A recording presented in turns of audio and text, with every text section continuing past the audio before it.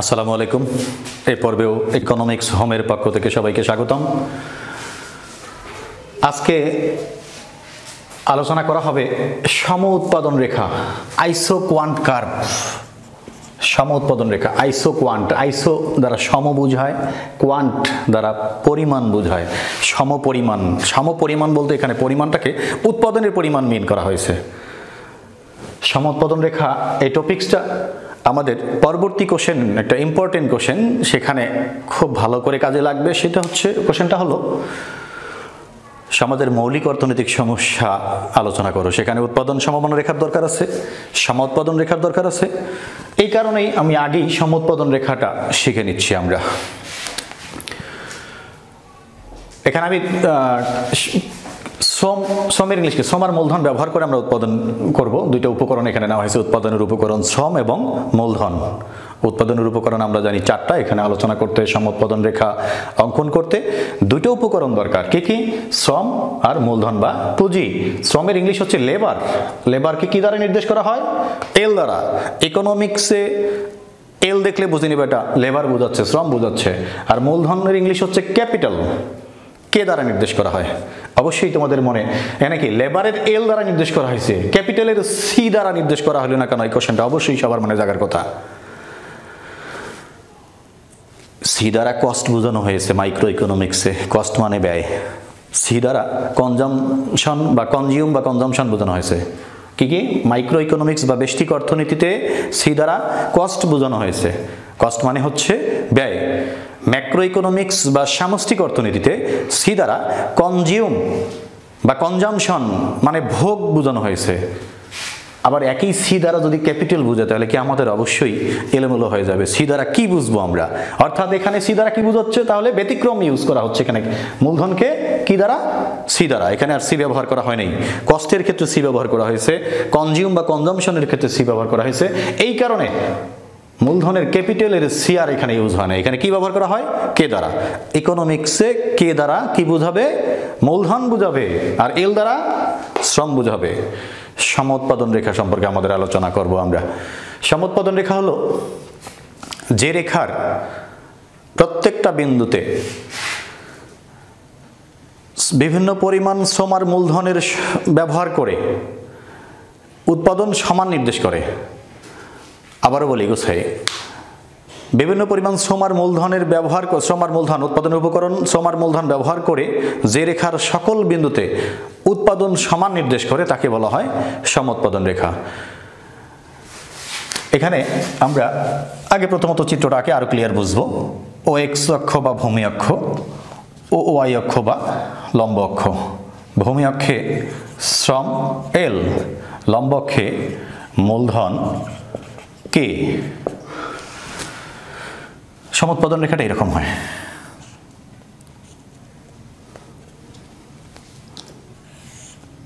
I Q রেখা, সংক্ষেপে। আইসোর আই আর কোয়ান্টের কিউ, আই কিউ রেখা সমোৎপাদন রেখা। আমি যখন মনে করো এই বিন্দুতে উৎপাদন করি, উৎপাদনের উপকরণ এখানে কি কি? শ্রম আর মূলধন। এই বিন্দুতে এতটুকু শ্রম আর এতটুকু মূলধন ব্যবহার করে এতটুকু শ্রম আর এতটুকু মূলধন ব্যবহার করে মনে করো দশ মন ধান উৎপাদন করি। কতগুলো ধান? দশ মন। দুই আসলাম। শ্রমের পরিমাণ কি হয়ে গেছে? বেড়ে গেছে। আর মূলধনের পরিমাণ আগে ছিল এতটুকু, এখন কতটুকু হয়েছে এতটুকু? অর্থাৎ আগের থেকে কমে গেছে। একটা উপকরণের পরিমাণ বাড়াইছি। আর একটা কি হয়েছে? কমানো হয়েছে। বিধায় উৎপাদনটা সমান থাকতেছে। যদি আমি শ্রম বাড়াইতাম আর মূলধন আগের পরিমাণই থাকতো, তাহলে কিন্তু উৎপাদন বেড়ে যেত। শ্রম বাড়াইছিলাম আর মূলধনের পরিমাণ কি করা হয়েছে এখানে? কমানো হয়েছে। বিধায় উৎপাদনটা কি হয়েছে? কি অবস্থা? সমানই আছে, আগের মতোই আছে, দশ মন। আগের মতোই আছে। কতটুকু? দশ মন ধান। আবারও শ্রম যদি বাড়ানো হয়, শ্রম আবারও বাড়াইলাম। মূলধন কি হলো এখানে? আগের অবস্থান থেকে সেকেন্ডে যে ছিল, বি বিন্দুতে যে ছিল, এতটুকু মূলধন। এখন তার থেকেও কম। এই কারণে সি বিন্দুতে উৎপাদন ওই দশ মন। সকল বিন্দুতে উৎপাদন কিন্তু দশ মনই বোঝাচ্ছে। যদি আমি ডি বিন্দুতে আসি, শ্রম আরও বেড়ে গেছে আগের থেকে। এতটুকু ছিল, হইল এতটুকু। এবং মূলধন আগের থেকে আরও কমছে। বিধায় উৎপাদন ওই দশ মন। অর্থাৎ এই রেখার সকল বিন্দুতে শ্রম আর মূলধনের পরিমাণ বিভিন্ন, কিন্তু উৎপাদন সমান। শ্রম আর মূলধনের পরিমাণ বিভিন্ন, কিন্তু উৎপাদন সমান। উৎপাদন সকল বিন্দুতে সমান, বিধায় রেখাটার নাম হচ্ছে কি? সম উৎপাদন রেখা। কি রেখা? সম উৎপাদন রেখা। আইসো কোয়ান্ট কার্ভ আইকিউ রেখা। আমরা এটাকে আইপি রেখাও বলে। আইসো প্রোডাক্ট কার্ভ, প্রোডাকশন বা প্রোডাক্ট প্রোডাক্ট মানে হচ্ছে উৎপাদন। আইকিউ বলে আইপিও বলে।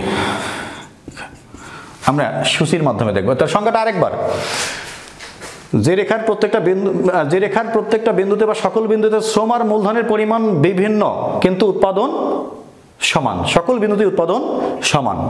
সেই রেখাটাকে তাকেই বলা হয় কি রেখা? সম উৎপাদন রেখা। কোশ্চেন করে, অনেক ভাইবা বোর্ডে কোশ্চেন করা হয় যে সম উৎপাদন রেখার এই রেখাটা কি রেখা? এদিকে শ্রম আর এদিকে মূলধন। এটা কি রেখা? এইভাবে প্রথম কোশ্চেন করবে। যে পারবে বলবে সমোৎপাদন রেখা। টিচার নেক্সট কোশ্চেন করবে। সমোৎপাদন রেখার এই বিন্দুতে উৎপাদন বেশি, নিচের বিন্দুতে না উপরের বিন্দুতে উৎপাদন বেশি? আমরা বেসিক যে ক্লিয়ারলি জানব, সে বলবে, অবশ্যই সকল বিন্দুতে উৎপাদন সমান। উৎপাদন সমান বিধায়িত তো রেখাটার নাম হচ্ছে সমোৎপাদন রেখা। আমরা সূচির মাধ্যমে দেখব কীভাবে সমোৎপাদন রেখাটা আসে।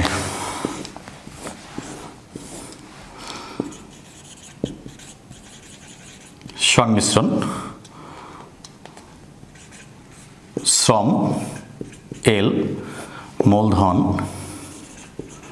কে, উৎপাদনের পরিমাণ বা উৎপাদন।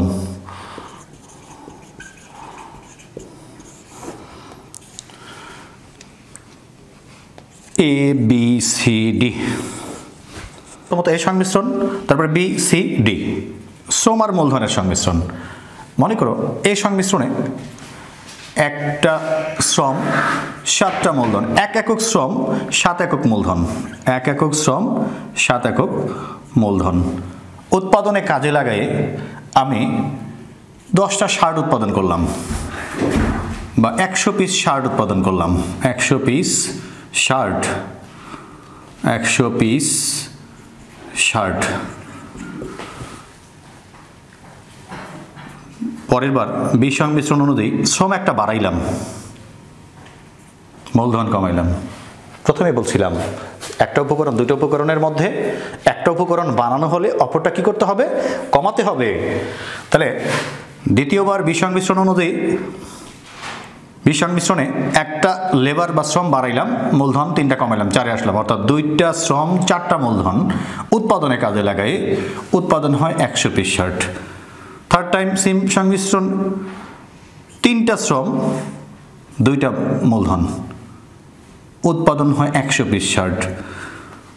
চারটা শ্রম, একটা মূলধন, উৎপাদন হয় একশো পিস শার্ট। দেখো বিভিন্ন সংমিশ্রণে শ্রম আর মূলধনের কি পরিমাণ বিভিন্ন? কিন্তু উৎপাদন সমান। আর এইখান থেকে যে রেখাটা আসবে সেটাই হবে সম উৎপাদন রেখা। দেখব আমরা এখন। ও এক্স অক্ষ বা ভূমি অক্ষ, ও ওয়াই অক্ষ বা লম্ব অক্ষ। ভূমি অক্ষে আমরা দেখাবো শ্রমের পরিমাণ লেবার লম্ব অক্ষে দেখাবো মূলধন। ক্যাপিটাল শ্রম, মনে করো, একটা স্পেস যে মাপে নেব, প্রত্যেকটা একই মাপে নেব, প্রথম দিকেই বলছিলাম আমি, একটা, দুইটা, তিনটা, এখানে হলো চারটা শ্রম। আর মূলধন কত পর্যন্ত আছে সর্বোচ্চ? শ্রম সর্বোচ্চ চার পর্যন্ত ছিল বিধে আমি চার পর্যন্ত গেছিলাম। আর মূলধন সর্বোচ্চ কত আছে এখানে? সাত পর্যন্ত। তো লম্ব অক্ষে আমরা যেহেতু মূলধন দেখাইছি, এদিকে সাত পর্যন্ত যাব। এক, দুই, তিন, চার, পাঁচ ছয়, সাত। দুই, তিন, চার, পাঁচ, ছয়, সাত। সবাই মনোযোগ সহকারে খেয়াল করি আমরা। কি ছিল সূচিতে? এই সংমিশ্রণ অনুযায়ী একটা শ্রম কটা মূলধন? সাতটা মূলধন। একটা শ্রম, সাতটা মূলধন। মূলধন সাত পর্যন্ত উপরে উঠব। চার চিত্রের এ বিন্দু। দুইটার সমন্বিত বিন্দু বা দুইটা মিলায় বিন্দু হচ্ছে এ, নির্দেশিত বিন্দু। উৎপাদন কত মান পাইছিলাম আমি? কত কত পিস শার্ট পাইছিলাম? একশো পিস শার্ট একশো পিস